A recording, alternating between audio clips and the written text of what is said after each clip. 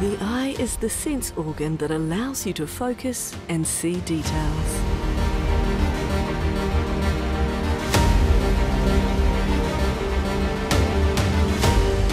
But it also allows you to follow objects and understand how distant they are in the space where you move. And in water, do you think fish are at the same distance that you see?